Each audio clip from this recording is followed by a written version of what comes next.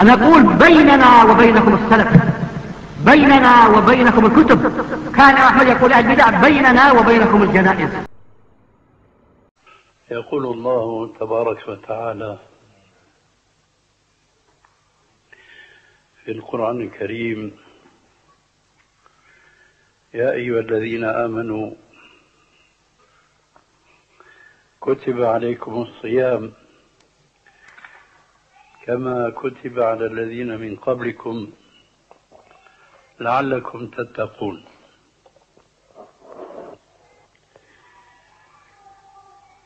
في هذه الآية كما لا يخفى على الحاضرين جميعا أن الله عز وجل نبأ أمة محمد صلى الله عليه وآله وسلم بما أنزل على نبيه عليه الصلاة والسلام في هذه الآية أن الله فرض عليهم الصيام كما كان قد فرض مثله على من قبلنا من الأمم. هذا أمر معروف لدى كل المسلمين الذين يقرؤون هذه الآية الكريمة ويفهمون معناها جليا واضحا ولكن الشيء الذي أريد أن أتحدث عنه شيء آخر. قلما يتنبه له أو قل من يتنبه له من عامة الناس. ألا وهو قوله تبارك وتعالى في آخر هذه الآية لعلكم تتقون. فالله عز وجل جرت عادته مع عباده المؤمنين أنه إذا أمرهم بأمر أو شرع لهم بفرض جرت عادته أن يقتصر تبارك وتعالى على ذكر الأمر دون بيان الحكمة من ذلك لأن الحكمة العامة من تكليف الله عز وجل لعباده هو أن يمتحنهم ويظهر من يطيعه منهم ومن يخالفهم ومن يخالفه تبارك وتعالى. ولكنه في هذه الآية ذكر شيئا غير معهود كثيرا في القرآن الكريم ألا وهو تعليل الأمر بالصيام بقوله تبارك وتعالى لعلكم تتقون. فإذا الحكمة من فرضية الصيام على المؤمنين ليس هو فقط أن يمتنعوا عن الملذات والمباحات من الطيبات وإن كان هذا أمرا واجبا بالنسبة لكل صائم ولكن ليس هذا هو المقصود فقط بهذا الصيام الذي ختم الله عز وجل أمره به بقوله تبارك وتعالى لعلكم تتقون. أي إن الحكمة من شرعية الصيام أن يزداد المسلم طاعة لله تبارك وتعالى في شهر الصيام أكثر مما كان عليه قبله.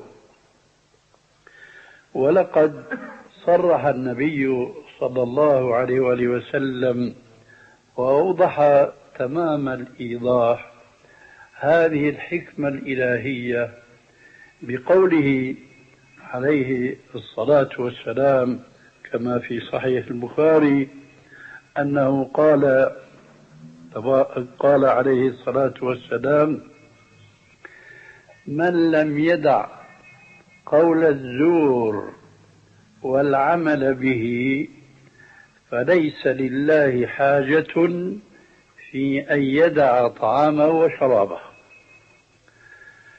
من لم يدع قول الزور والعمل به فليس لله حاجة في أن يدع طعامه وشرابه.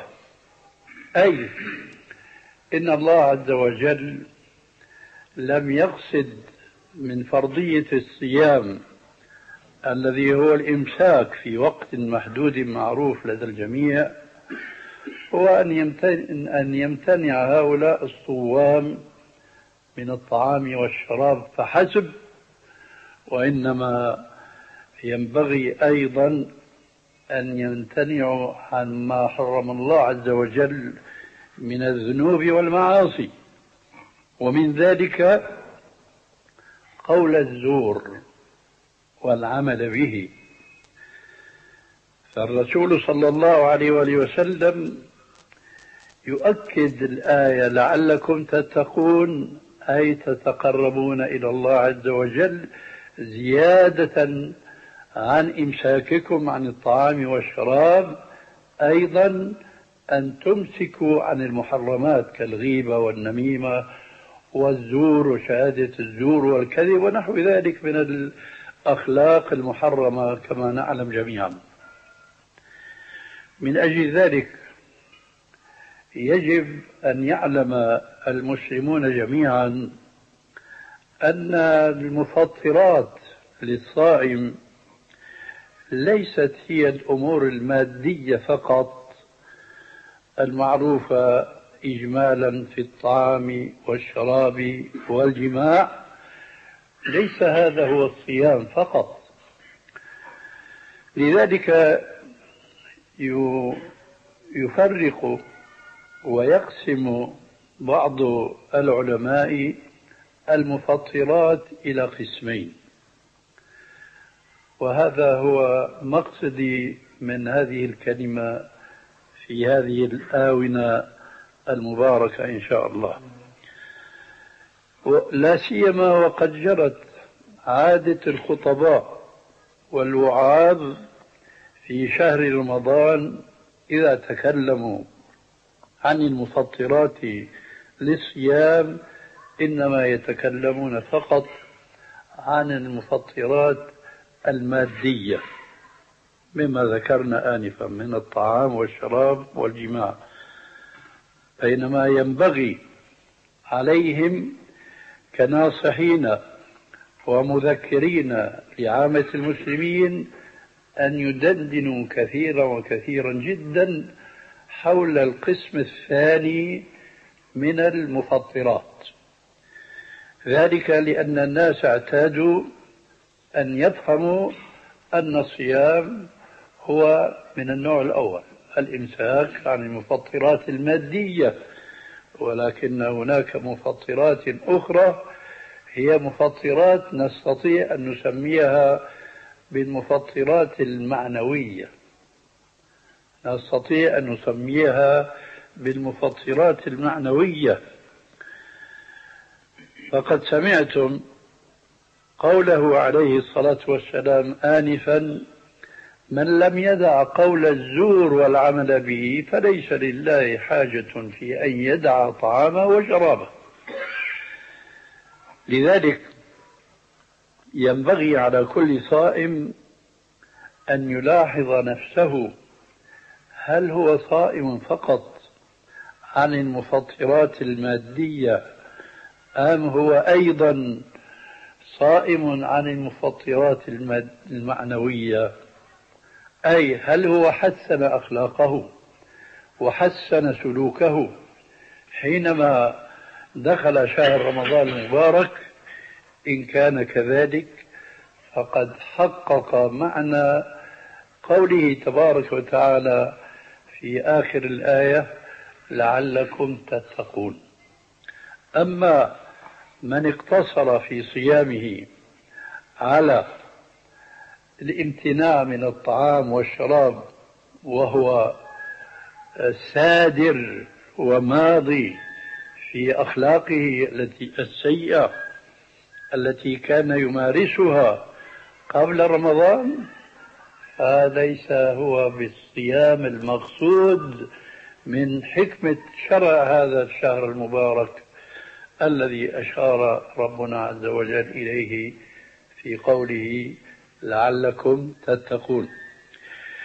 لذلك نحن ننصح ونذكر إخواننا المسلمين بأن يتذكروا هذا المفطر الآخر المعنوي الذي قلما يتحدث عنه الوعاظ والمرشدون فضلا عن أن يكون عامة المسلمين على ذكر وعلى تنبه لهذا النوع من المفطرات ألا وهي المفطرات المعنوية.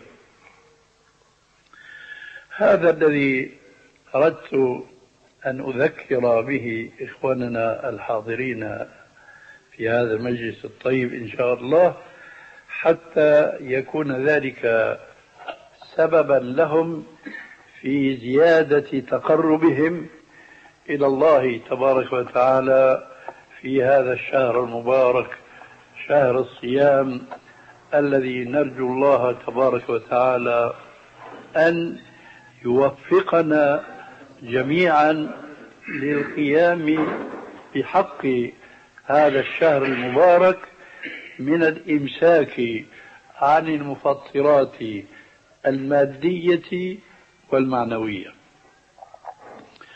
ثم بالإضافة إلى هذه الكلمة أرجو أن تنتبهوا لما سيلقى عليكم من بعض الأمور التي أغفلها الجمهور من عامة المسلمين بل ومن خاصتهم.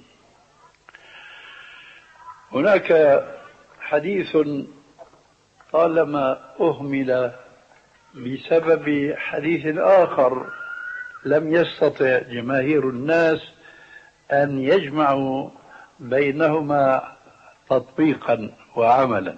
ألا وهو قوله عليه الصلاة والسلام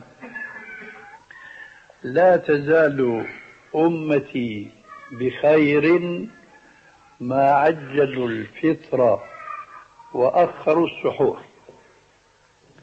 فهنا أمران اثنان. قد أهمل من أكثر الناس ألا وهو التعجيل بالإفطار والتأخير بالسحور.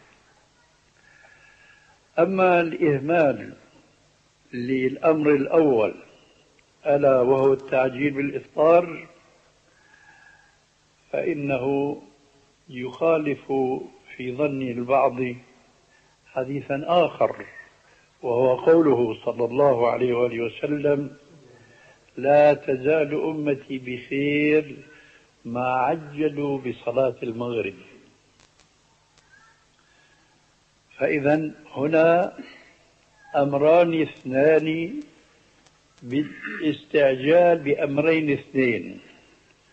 فيبدو للبعض أنه لا يمكن الاستعجال بالأمرين كليهما معا. عليكم السلام.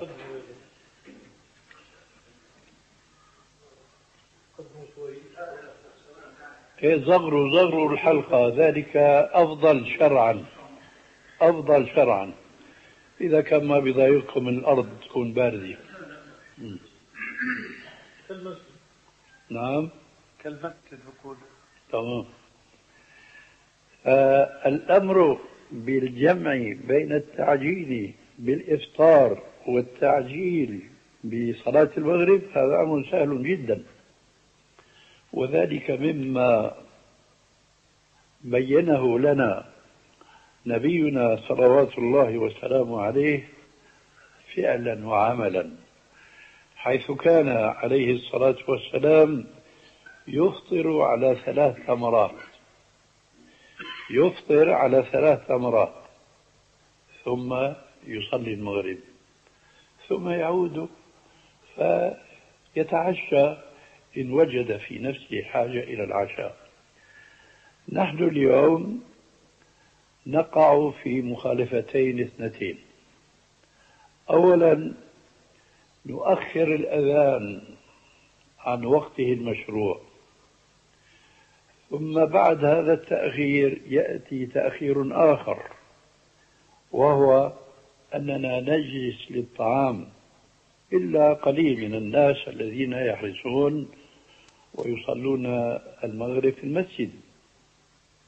لكن عامة الناس هم أولا يتأخرون حتى يسمعوا الأذان فإذا سمعوا الأذان جلسوا للطعام كأنهم يتغدون أو يتعشون وليسوا هم في إفطار.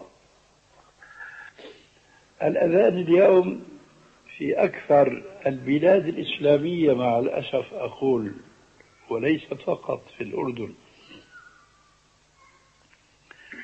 لقد عرفت ذلك بالتتبع في أكثر البلاد الإسلامية. يؤذن أذان المغرب بعد الوقت. والسبب في هذا أننا تركنا التمسك بالأحكام الشرعية وتطبيقها عمليا وتواكلنا على الحسابات الفلكية. ركنا إلى ما يسمى اليوم بالروزنامة بالتقويم. التقاويم هذه تجري على حسابات فلكية تحسب الأرض أرض مستوية فتعطي حساب لهذه الأرض المستوية بينما الأرض خاصة في بلادنا هنا تختلف بين انخفاض في وادي وبين هضبة بين جبل فلا يصح أن يكون التوقيت واحدا. يشمل الساحل ويشمل السهل ويشمل الجبل. لا لكل أرض وقتها. ولذلك من كان في استطاعته في حيث هو مقيم في بلده أو في قريته أن يرى غروب الشمس بعينه فإذا ما غربت فهذا هو التعجيل بالإفطار الذي أمرنا به. في قوله عليه السلام المذكور آنفا لا تزال أمتي بخير ما عجلوا الفطر. لقد حرص النبي صلى الله عليه وآله وسلم على تطبيق هذه السنة تعليما وتطبيقا. أما تعليما فقد قال عليه الصلاة والسلام في الحديث الذي أخرجه البخاري في صحيحه إذا أقبل الليل من ها هنا وأشار إلى الشرق. وأدبر النهار من ها هنا وأشار إلى الغرب. وغربت الشمس فقد أفطر الصائم. إيش معنى فقد أفطر الصائم؟ أي دخل في حكم الإفطار. وحينئذ يأتي الحكم السابق الذي حض فيه الرسول عليه السلام على الاستعجال بالإفطار. والرسول عليه السلام كان يطبق هذا حتى وهو راكب مسافر. فقد جاء أيضا في صحيح البخاري أن النبي صلى الله عليه وآله وسلم أمر أحد أصحابه بأن يهيئ له الإفطار. فقال يا رسول الله النهار أمامنا. يعني ضوء الشمس ولو أنها غابت لكن لا يزال ضوءها ظاهر من الناحية الغربية. ما رد عليه الرسول عليه السلام بل أكد له الأمر بأن يهيئ الإفطار. يقول راوي الحديث كنا نرى النهار أمامنا أي ضوء النهار ضوء الشمس حينما أفطرنا لو أن أحدنا ركب ناقته لرأى الشمس. الشمس غربت من هنا ورسول عليه السلام أمر أحد الصحابة أن يهيئ الإفطار. لماذا؟ للتعجيل بالخير. لا تزال أمتي بخير ما عجلوا الفطر. المهم أن نلاحظ أن الإفطار المستعجل به شرعا يجب أن يكون على تمرات ثم التعجيل بالصلاة. ثم بعد ذلك يجلس الناس ويأكلون كفايتهم. هذا هو الأمر الأول الذي أحببت أن أذكر به وهو الجمع بين الأمرين اللذين أمر النبي صلى الله عليه وسلم بالاستعجال بهما. الأمر الأول التعجيل بالإفطار والأمر الثاني التعجيل بصلاة المغرب. فالإفطار يكون على تمرات كما هو السنة وإن لم يتيسر تمرات على جرعات من ماء ثم تصلى الصلاة جماعة في المسجد. والأمر الآخر الذي أريد التذكير به وهو ما جاء في الحديث السابق وأخروا السحور أي إن المطلوب أيضا عكس الإفطار فالإفطار أمرنا عليه السلام بالاستعجال به. أما السحور فينبغي التأخر به. والواقع اليوم خلاف ذلك تماما. حيث أن كثيرا من الناس يتسحرون قبل طلوع الفجر ربما بساعة. هذا ما ينبغي.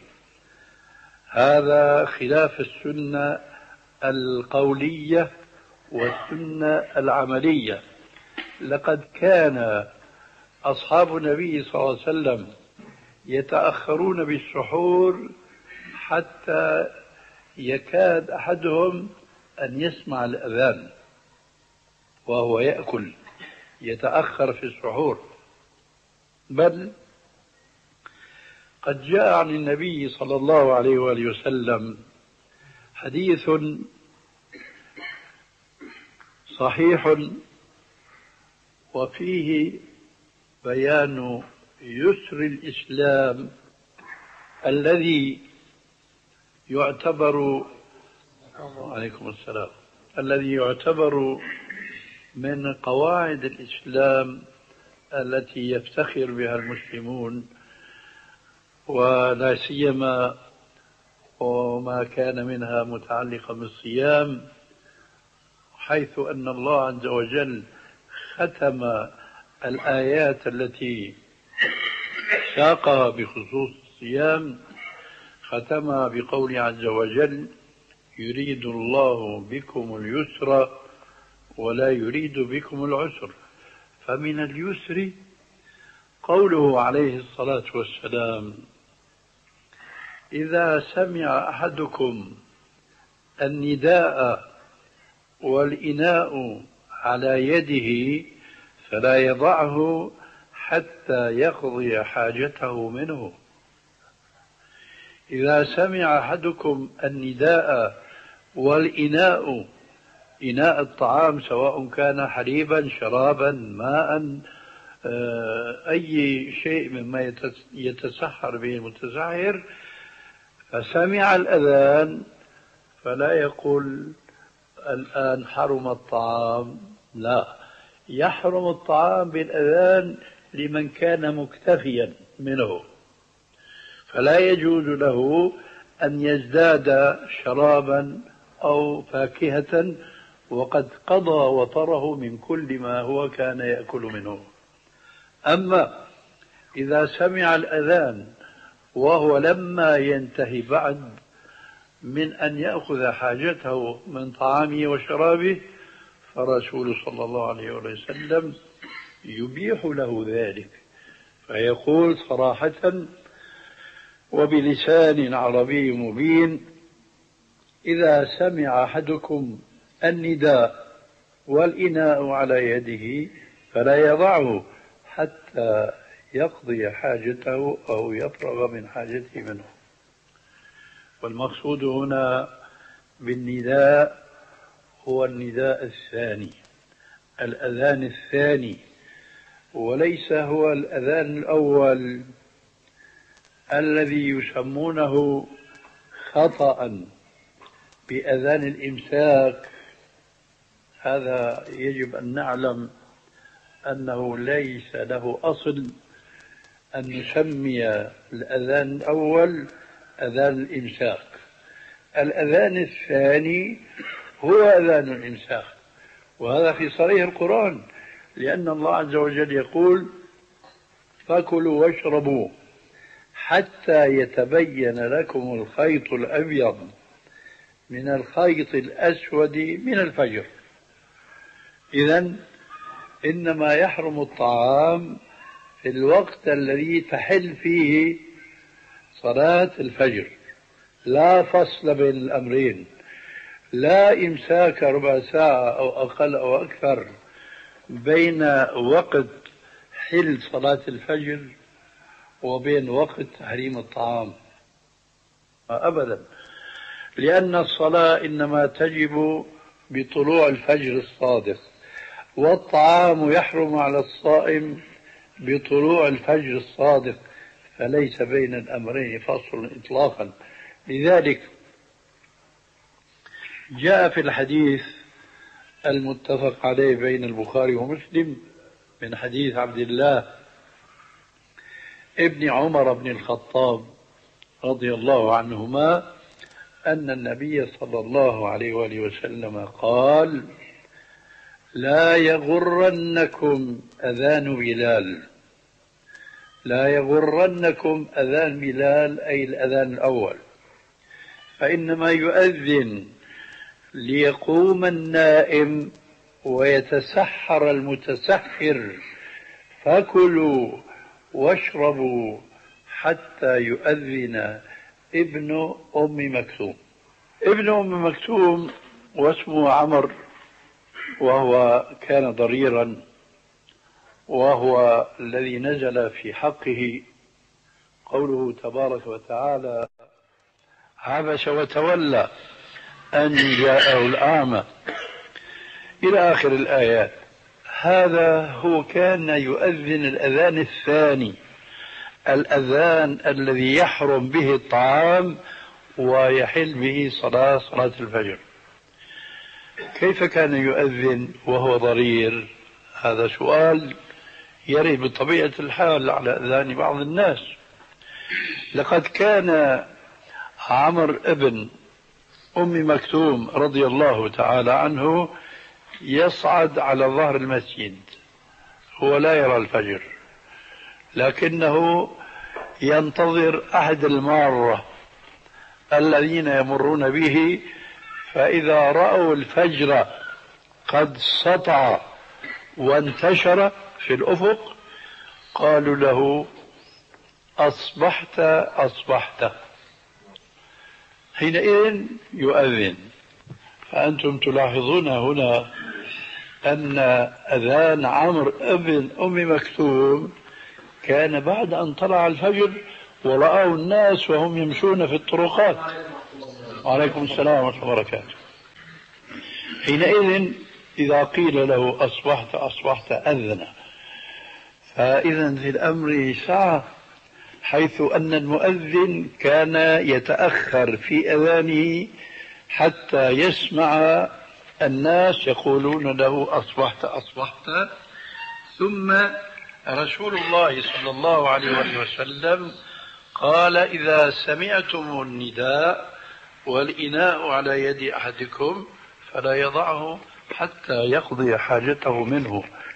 فصدق الله عز وجل حينما قال في أواخر تلك الآيات المتعلقة بالصيام يريد الله بكم اليسر ولا يريد بكم العسر ولتكملوا العدة ولتكبروا الله على ما هداكم ولعلكم تشكرون. فإذا من الفقه المستنكر والمخالف لهذه السنة أن يقول القائل أن الصائم إذا سمع الأذان واللقمة في فمه فعليه أن يلفظها هذا تنطع وغلو في الدين. ورب العالمين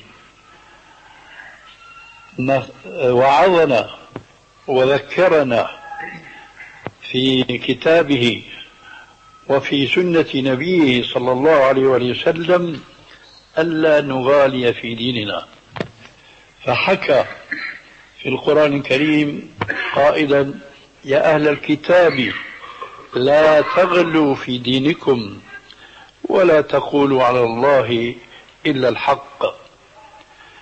وقال لنا رسولنا صلوات الله والسلام عليه إياكم والغلو في الدين فإنما هلك من قبلكم بغلوهم في دينهم. أو قال عليه السلام إنما أهلك الذين من قبلكم غلوهم في دينهم. فإذا كان رسول الله صلى الله عليه وسلم قد بين لنا أن في مسألة سحور المتسحر سعة وفسحة حتى قال إذا سمع أحدكم النداء والإناء على يده فلا يضعه حتى يقضي حاجته منه فهذه مشاقة لله وللرسول أن يقول الإنسان للذي سمع الأذان واللقمة في فمه الفظها وارمها أرضا هذا ليس من السنة بل هذا هو خلاف السنة وخلاف أمر الرسول صلى الله عليه وآله وسلم الصريح. وقد سئلت كثيرا فلا أدع مجالا لتوجيه مثل هذا السؤال فأقدم إليكم سلفا أن هذا الحديث موجود في أشهر كتب السنة. التي منها سنن أبي داود وهو الكتاب الثالث من الكتب الستة المشهورة. أولها صحيح البخاري ثانيها صحيح مسلم ثالثها سنن أبي داود. هذا الحديث موجود فيه. وكذلك رواه أبو عبد الله الحاكم في مستدركه. وكذلك أخرجه الإمام إمام السنة أحمد بن حنبل رحمه الله في كتابه العظيم المعروف بمسند الإمام أحمد. فهذا الحديث إذا ليس من غرائب الأحاديث بل هو من الأحاديث المشهورة والتي رواها أئمة السنة القدامى وبالسند الصحيح. وهنا أقول خاتما لهذه الكلمة لعل أحدكم لديه سؤال فنجيب عليه إن شاء الله.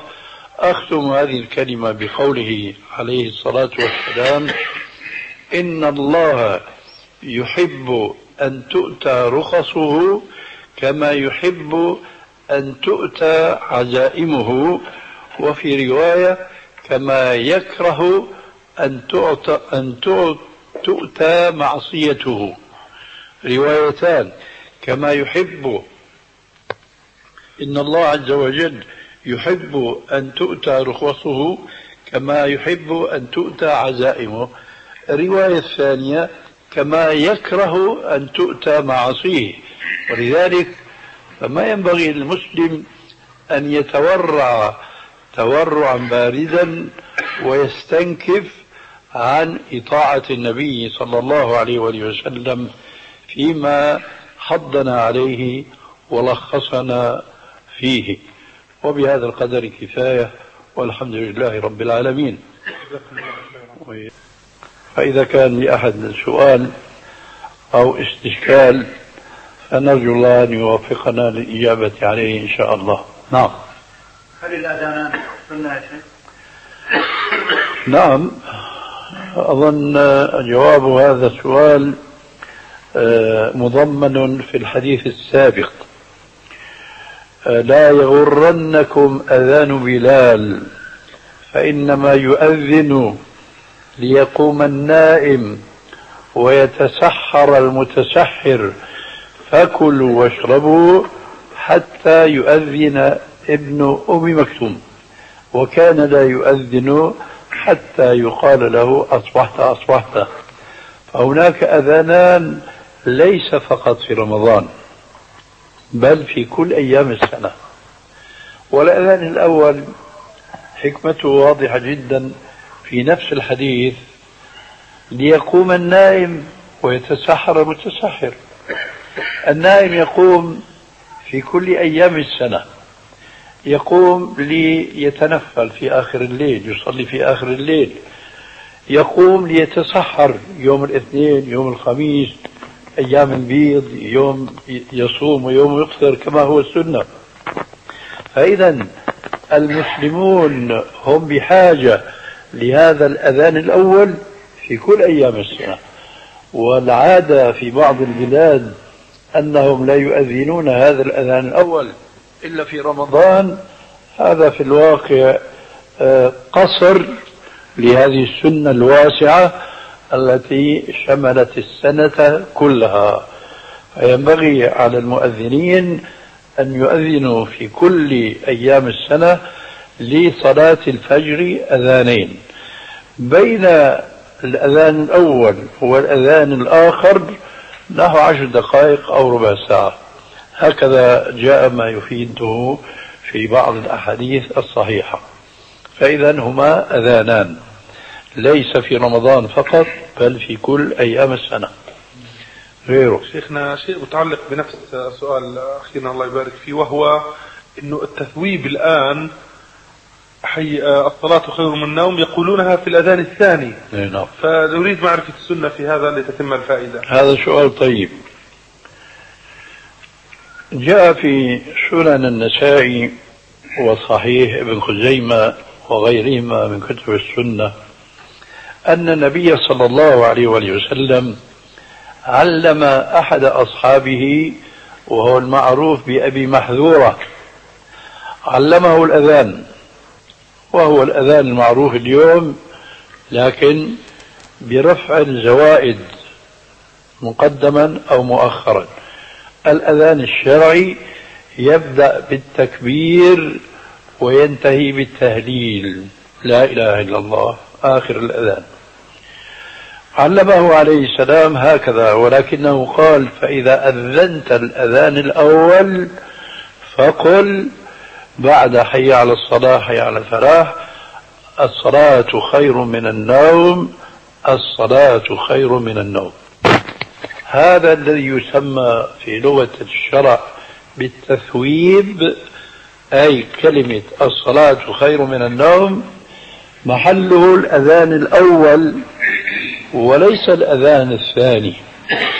ذلك لأن الأذان الأول عرفتم من الحديث السابق لماذا شرع الأذان الأول؟ ليستيقظ النائم ويتسحر المتسحر.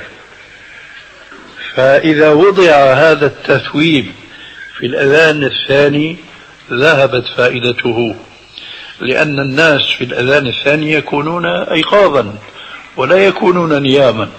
ولهذا فالسنة نقلا وعقلا مطابقة للأذان الأول وليس للأذان الثاني. ولذلك فمن كان في قدرته أن يحيي هذه السنة فيكتب له أجرها وأجر من عمل بها إلى يوم القيامة دون أن ينقص من أجورهم شيء. كما جاء في الحديث الصحيح. وعليكم السلام ورحمة الله. في نفس السؤال في نفس الموضوع. تفضل. إذا لم يستيقظ المؤذن آه، في الأذان الأول فهل له أن يثوب في الأذان الثاني؟ لا ليس له ذلك لأنه يوهم الناس أن الوقت لم ينتهي بعد آه. الحقيقة أن شرعية الأذانين فيها حكمة بالغة وهناك حكمة أخرى وهي أن النبي صلى الله عليه وسلم كان وظف لكل أذان مؤذنا. والحكمة في ذلك أن يعرف السامعون للأذان الأذان الأول من الأذان الثاني من صوت المؤذن. هذا تمييز. هذا أيضا من السنة التي ينبغي إحياؤها. أما الجواب عما سألت فيجب أن تبقى السنة في مكانها. فمكان الصلاة خير من النوم إنما هو الأذان الأول. أه، نحن في موضوع الأذان خلينا كذلك نستمر إن شاء الله. تفضل. الأذان الموحد الآن في كثير من المساجد والزيادة عليه. والزيادة على الأذان. ما حكم هذا؟ أما الزيادة على الأذان فقد سبق عليه نعم. الكلام آنفا حيث قلنا أن الأذان النبوي إنما هو يبدأ بالله أكبر الله أكبر وينتهي بلا إله إلا الله. وتعجبني كلمة في بعض البلاد العربية وهي سوريا بالذات يقول العامة الزايد أخو الناقص. الزايد أخو الناقص وهذا صحيح. هذا كلام مأخوذ من السنة. يقول عليه السلام من أحدث في أمرنا هذا ما ليس منه فهو رد. والأحاديث تعرفونها والحمد لله وهي كثيرة في هذا المعنى. فكما لا يجوز للمسلم أن يصلي المغرب أربعا كذلك لا يجوز له أن يصلي المغرب ركعتين. لماذا؟ الزائد أخو الناقص. كما لا يجوز زيادة في الدين كذلك لا يجوز النقصان منه أو لعله العكس أن يقال الصواب أكثر. كما لا يجوز النقص من الدين لا يجوز زيادة فيه. ومن الغريب الذي سهى عنه جماهير الناس أنهم جميعا يتفقون على استنكار النقص من العبادة. ما أحد يرى أنه يجوز أن يصلي المغرب ركعتين كما يصلي الفجر. لكن كثير من الناس يرون الزيادة على ما جاء به الرسول عليه السلام من العبادات والطاعات كما نحن الآن بالنسبة للأذان. أذان الرسول صلى الله عليه وسلم الذي علمه أبا محظورة كما ذكرنا آنفا وعليه كان أذان بلال الحبشي وكل المؤذنين على كل العصور والدهور كانوا يبدأون بألله أكبر الله أكبر. وينتهون بلا إله إلا الله. فما الذي سوغ الزيادة مقدما أو مؤخرا؟ يستعملون عقولهم. وليتها كانت عقولا مثقفة بالثقافة الإسلامية الصحيحة. يقول قائلهم إذا قيل له مثلا يا أخي السنة أن تقف في أذانك عند لا إله إلا الله ولا تزيد. بيقول لك يا أخي شو فيها؟ شو فيها؟ هذا الذي يقول هذه الكلمة لم يفكر في معنى من معاني آيات وأحاديث صحيحة. الآية الكريمة التي تقول اليوم أكملت لكم دينكم وأتممت عليكم نعمتي ورضيت لكم الإسلام دينا. أتممت انتهى. بعد التمام ما في إلا النقصان. فكيف يقول هذا المسلم؟ شو فيها يا أخي إذا أنا زدت مثلا الصلاة على الرسول عليه السلام بعد أذاني؟ يا أخي تأمل وتفكر. فيها نسبة الخيانة لنبيك عليه السلام. لو أنك اعتقدت كفرت وخرجت عن الإسلام لأن النبي صلى الله عليه وسلم قد خوطب بنص القرآن ونفذ ما أمر به في هذا النص ألا وهو قوله عز وجل يا أيها الرسول بلغ ما أنزل إليك من ربك وإن لم تفعل فما بلغت رسالته والله يعصمك من الناس وما أحلى حديث السيدة عائشة رضي الله تعالى عنها حين قالت في حديث لها لا بأس من ذكره بتمامه لما فيه من فائدة. وربما يكون بعض الناس يتبنون شيئا خلاف ما نص هذا الحديث عليه. جاء في صحيح البخاري وصحيح مسلم بالسند الصحيح عن مسروق من كبار التابعين رجل فاضل يسمى بمسروق. جاء إلى السيدة عائشة رضي الله تعالى عنها فقال لها يا أم المؤمنين هل رأى محمد ربه؟ قالت لقد قف شعري مما قلت. قال يا أم المؤمنين ارحميني ولا تعجلي علي.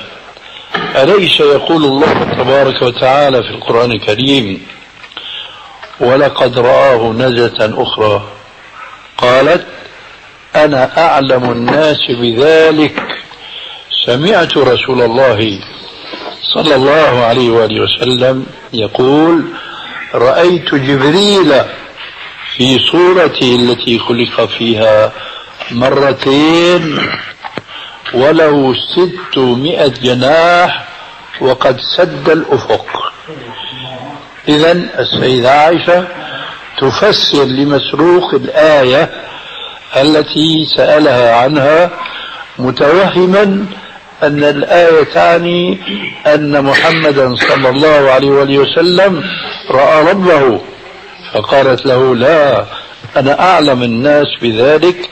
سألت رسول الله صلى الله عليه وسلم عن هذه الآية فقال رأيت جبريل في صورته التي خلق فيها مرتين وله ستمائة جناح وقد سد الأفق. ثم تابعت السيدة عائشة رضي الله تعالى عنها كلامها فقالت ثلاث من حدثكمهن فقد أعظم على الله الفرية. من حدثكم بأن محمدا صلى الله عليه وآله وسلم رأى ربه فقد أعظم على الله الفرية. اقرأوا قوله تبارك وتعالى وما كان لبشر أن يكلمه الله إلا وحيا أو من وراء حجاب. فإذا رسول الله صلى الله عليه وسلم حين عري به إلى السماوات العلى ما رأى ربه لأن الله حينما فرض عليه ما فرض من الصلوات الخمس وكلمه بذلك إنما كلمه من وراء حجاب وهذا من معاني الآية المذكورة.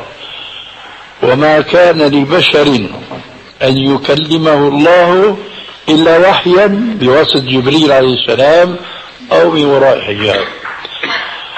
آه، أو يرسل رسولا إلى البشر. فاستشهدت السيدة عائشة على أنه لا يمكن لبشر أن يرى ربه في الدنيا. من حدثكم أن محمدا صلى الله عليه وسلم رأى ربه فقد أعظم على الله الفرية ثم تلت الآية. وما كان لبشر أن يكلمه الله إلا وحيا أو من وراء حجاب. ثم قالت ومن حدثكم أن محمدا صلى الله عليه وسلم كان يعلم الغيب فقد أعظم على الله الفرية ثم تلت قوله تعالى قل لا يعلم من في السماوات والأرض الغيب إلا الله. ثم قالت وهنا الشاهد ومن حدثكم أن محمدا صلى الله عليه وآله وسلم كتم شيئا أمر بتبليغه. انتبهوا هنا الشاهد. من حدثكم أن محمدا صلى الله عليه وآله وسلم كتم شيئا أمر بتبليغه فقد أعظم على الله الفرية ثم تلت قوله تعالى يا أيها الرسول بلغ ما أنزل إليك من ربك وإن لم تفعل فما بلغت رسالته والله يعصمك من الناس ثم قال لو كان محمد صلى الله عليه وسلم كاتما شيئا أمر بتبليغه لكتم قول الله عز وجل وإذ تقول للذي أنعم الله عليه أن أنعم الله عليه ونعمت عليه أمسك عليك زوجك واتق الله وتخفي في نفسك ما الله مبديه. وتخشى الناس والله أحق أن تخشاه لو كان الرسول يكتم شيء كان يكتم هذه المعاتبة من ربه له لكنه تنفيذا منه للآية السابقة يا أيها الرسول بلغ ما أنزل إليك من ربك وإن لم تفعل فما بلغت رسالته والله يعصمك من الناس. إذا قد بلغ الرسول عليه السلام الإسلام كله بحذافيره لم يبقي ولا حرفا واحدا لأحد حتى يستدرك عليه. فإذا كان الرسول علم المؤذنين في زمانه أن الأذان يبدأ بالله الله أكبر الله أكبر وينتهي بلا إله إلا الله إذا صح قول من قال الزايد أخو الناقص. فلا يجوز زيادة في الدين إطلاقا لأن الدين قد كمل وما أحسن كلمة عبد الله بن عمر بن الخطاب رضي الله عنهما حينما قال مفسرا للحديث المعروف كل بدعة ضلالة. الحديث هكذا كل بدعة ضلالة وكل ضلالة في النار. أما ابن عمر فأضاف إلى هذه الجملة جملة يمكن أن نعتبرها جملة تفسيرية. فقال كل بدعة ضلالة وإن رآها الناس حسنة. وإن رآها الناس حسنة. وهذا هو الواقع اليوم كما قلت آنفا. إذا قلت لا تفعل كذا لك شو فيها؟ يا أخي فيها أنك تستدرك على نبيك. ما بكفي هذا؟ يكفي هذا وبعضه يكفي ضلالا وبعدا عن السنة. فنسأل الله عز وجل أن يحيينا على السنة وأن يتوفانا عليها جميعا إن شاء الله تبارك وتعالى. نعم. في فئة من الناس من المسلمين الصائمين بيفطروا قبل الأذان وفي فئة بتفطر على الأذان فشو حكمهم هذول الاثنين؟ ما هو أنت ظاهر ما كنت معنا بارك الله فيك. أنا دائما في معيتك نعم. أنت حكيت لنا عن أذان السحور. وما تبعه. أنا بقول وأذان المغرب تكلمنا وأذان المغرب وتكلمنا عن الاستعجال بالإفطار والاستعجال بالصلاة نعم. وروينا وروينا قوله عليه السلام لا تزال أمتي بخير ما عجلوا الفطرة وذكرنا أن الرسول عليه السلام في السفر نعم. قال لأحد الصحابة حضر لنا الفطور قال يا رسول الله أمامك نهار قال له حضر نعم. وقال هذا الصحابي لو أن أحدنا ركب ناقته لرأى الشمس نعم. أي إن الإفطار كان فور غياب الشمس وذكرت أيضا حديثا يجب أن نحفظه كما نحفظ الفاتحة نعم. ألا وهو قوله عليه الصلاة والسلام إذا أقبل الليل من هنا وأدبر النهار من ها هنا وغربت الشمس نعم. فقد أفطر الصائم. فورا يجب الإفطار. ما بدها انتظار. هسه لما بيكون الواحد يا سيدي مع مجموعة. نعم. وهالمجموعة كلها رفضت أن تفطر. يحق له أن يفطر هو. وشو عرف أنه أدبر الليل و... والنهار؟ بارك الله فيك. ذكرنا آنفا قوله عليه السلام من سن في الإسلام سنة حسنة. نعم. هذا الرجل الذي يعرف أن الوقت قد حل. نعم. يعني وقت الإفطار نعم. حل.